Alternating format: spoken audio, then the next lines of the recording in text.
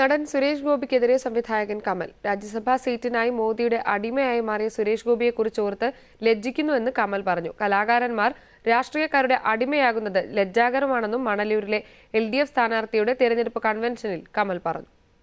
എന്റെ ഏറ്റവും അടുത്ത സഹപ്രവർത്തകനും സുഹൃത്തുമായ സുരേഷ് ഗോപിയെ എനിക്കിപ്പോൾ ലജ്ജയോടുകൂടി മാത്രം നോക്കാൻ കഴിയുള്ളൂ. കാരണം രാജ്യസഭാ മെമ്പർ എന്ന് പറയുന്ന ഒരു സ്ഥാനം കിട്ടാൻ വേണ്ടി നരേന്ദ്രമോദി എന്ന് പറയുന്ന ഒരു നരാധിമന്റെ ഇന്ത്യ കണ്ടിട്ടുള്ള ഏറ്റവും വലിയ എന്താ പറയുക ഒരു കൂട്ടക്കുരുതിയുടെ ഒരു ഭരണകൂട ഭീകരതയുടെ വക്താവായിട്ടുള്ള നരേന്ദ്രമോദിയുടെ അടിമയാണ് ഞാൻ എന്നൊരു കലാകാരൻ പറയേണ്ടി വരുന്ന ലജ്ജാകരമായ ഒരു അവസ്ഥയിലാണ്.